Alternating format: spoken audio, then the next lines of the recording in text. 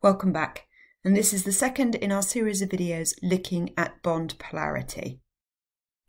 So for the rest of this topic, we're going to be looking at polar and non-polar molecules and how we can decide whether a molecule as a whole is polar or non-polar. If the molecule only has two atoms in it and those two atoms are different, then the molecule as a whole will always be polar. The reason for this is if you have two atoms with different electronegativities, the more electronegative one will attract the shared pair of electrons more. This will distort the electron cloud, and you will have one side of the molecule being delta positive and one being delta negative. It's important when you're answering these types of questions that you get all the marks for it. So you get one mark for stating the fact that you've got different electronegativities, one mark for saying that the more electronegative one will attract the shared pair of electrons more, and the last mark for the fact that therefore you end up with a distorted electron cloud. For molecules where you've got more than two atoms, you do need to consider the shape of the molecule and you need that in order to be able to decide whether the molecule as a whole is polar or non-polar. It's quite possible to have a bond which is polar, but a molecule which is non-polar. This is where the shape of the molecules really comes into play and why we have to study bond polarity after we've studied shape. If you consider the molecule BF3, this is a trigonal planar molecule and that shape is important you've got different atoms with different electronegativities, so the bonds will be polar. Fluorine, as the most electronegative, is always going to be delta negative, and the boron in this case is going to be delta positive. So these bonds are highly polar. You have a very delta negative and you have a very delta positive, and these are all very, during this slightly bigger delta negatives, delta negatives.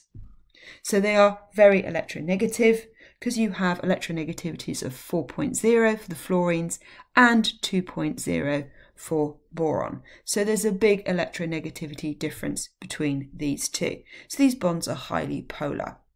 But because the molecule is a trigonal planar, it is symmetrical. Therefore, the electron cloud is symmetrical, and these bond polarities will cancel out. Those of you who do physics, you might recognize this as moments, and we're basically resolving the moments. Those of you who don't do physics, don't worry about it. If the molecule is symmetrical, then the bond polarities will cancel out and there will be no overall dipole. This is a good example of a molecule with polar bonds, but a non-polar molecule. Another couple of examples of this is things like carbon dioxide. Again, we have a polar bond. The oxygen is delta negative, or the two oxygens are delta negative, and the carbon is delta positive. But because this is a symmetrical molecule, if you like, these two are both pulling this way, they cancel each other out, and therefore overall, this molecule is non-polar. It has polar bonds, but the molecule is non-polar. Tetrachloromethane, again, you need to know the shape of this, and this is a tetrahedral shape. So again, it's a symmetrical electron cloud. And again, you've got all your delta negatives all pulling in equal opposite directions, and therefore, again, the bond polarities will cancel out. So, other examples, F, F6, BeCl2. They are all symmetrical. And that's what we look for. If the molecule is symmetrical, then the bond polarities will cancel out to leave a molecule with no dipole moment, and therefore the molecule as a whole will be non-polar. Polar molecules, on the other hand, contain polar bonds, but those bond polarities do not cancel out, and therefore there is an overall dipole. So, to be a polar molecule, you've got to have two or more different atoms. The bonds themselves must be polar, and the shape of the molecule must be asymmetric, in other words, non symmetrical. So, therefore, the bond polarities do not cancel out, and there is an overall dipole moment. We're going to look at a couple of examples of these.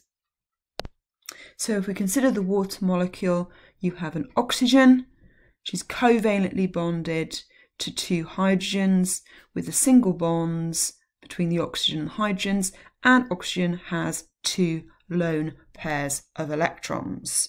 So we have our oxygen and we have our two hydrogens.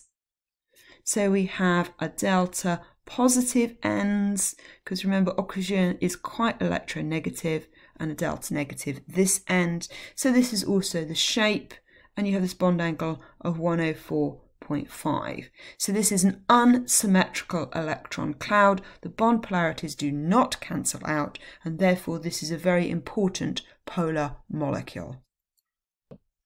Trichloromethane is another good example. We have a hydrogen here. We have three chlorine atoms and the carbon. So the chlorines are all very delta negative. They all have a high electronegativity value. And the hydrogen actually ends up in this case as delta positive. So again, we end up with an unsymmetrical electron cloud. This hydrogen carbon bond, yes, is polar, but there's such a small electronegativity difference between them that we usually classify the CH bond as non-polar. But do remember, anything which is not identical is always going to be slightly polar. But for most cases, the polarity of this bond is so small, it generally can be ignored.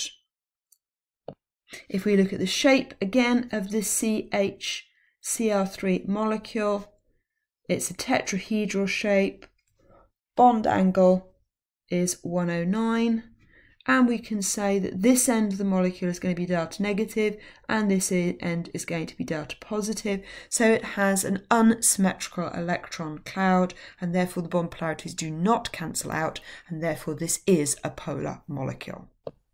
We can test whether or not a molecule is polar or non-polar by setting up the experiment on page 7. So we've got a burette, in this case with water in it, and a charged rod. As you open up the burette, you have a stream of water, and if it's deflected by the charged rod, we say that the molecule is polar. So it's attracted towards an object with an electrostatic charge because the polar molecules tend to move and rotate because the charge on one side of the molecules is attracted to the opposite charge on the object. This is an important practical and you need to be able to describe it for the exam. We can see here that we have polar and non-polar molecules. Um, here you've got the carbon-hydrogen bond. Now this bond technically is polar, but because the molecule overall is non-polar, it does not deflect the jets. The carbon-hydrogen bond Generally speaking, we don't consider it polar enough in reactions, but it does have a slight polarity. So, for example, it will still absorb IR radiation, and that's why things like methane are a strong greenhouse gas, because the CH bond is polar enough to absorb IR radiation. And that's what makes it a greenhouse gas, its ability to change its dipole moment by absorbing IR radiation. So I'd like you to pause the video at this point and decide whether or not these molecules are polar or non-polar molecules.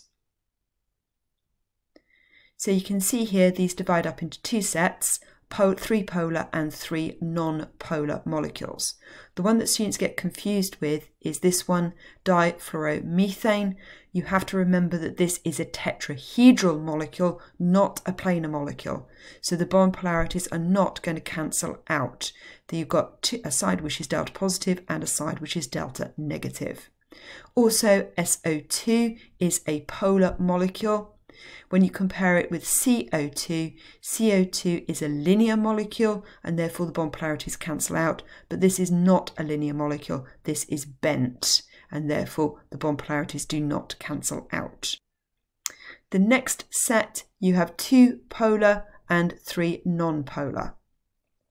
The molecule on the ends, you have a delta positive end and a delta negative end. This is trichloromethane. You also have the oxygens here and they are very delta negative, negative there, and you have this end which is delta positive. So have delta positive, delta negative ends.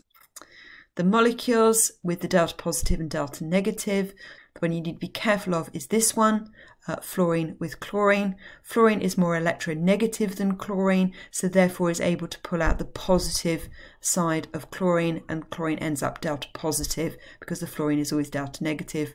Uh, the carbon dioxide, again, notice that this is a linear molecule, as is the tetrahedral, and therefore these two are your non-polar molecules.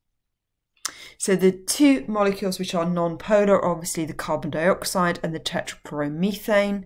I'm going to use carbon dioxide as my example. So carbon dioxide has polar bonds because there's a big electronegativity difference between the carbon and the oxygen, but the molecule overall is linear and therefore the bond polarities cancel out. Therefore, the bond, the electron cloud is symmetrical and the molecule overall is non-polar.